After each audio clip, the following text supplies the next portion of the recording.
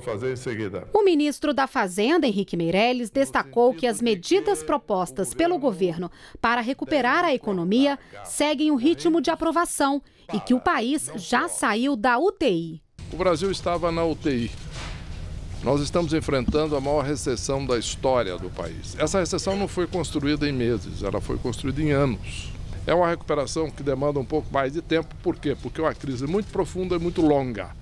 Mas é uma recuperação sólida Meirelles indicou ainda que é preciso controlar os gastos públicos para preservar a capacidade de investimento do país. Primeira vez no Brasil, desde a aprovação da Constituição de 88, em que se limita o crescimento dos gastos públicos no país. E isso é fundamental. Não é? Os gastos públicos, como a proporção do produto, do, praticamente dobraram de 2006 até hoje. E isto é o que está gerando esta crise toda. O ministro do Trabalho, Ronaldo Nogueira, também participou do Congresso. Anunciou que o Programa de Proteção ao Emprego, o PPE, lançado em julho de 2015, vai ser mantido com o nome de Programa de Seguro ao Emprego, o PSE.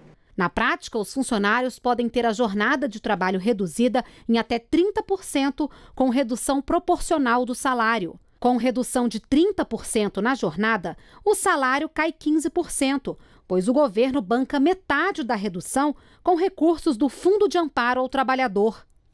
Com essa economia de cerca de 2,5 bilhões de reais anuais, estaremos financiando a continuidade do PPE, que passará a ser permanente com um custo de apenas 1,3 bilhões em quatro anos para se manter 200 mil empregos.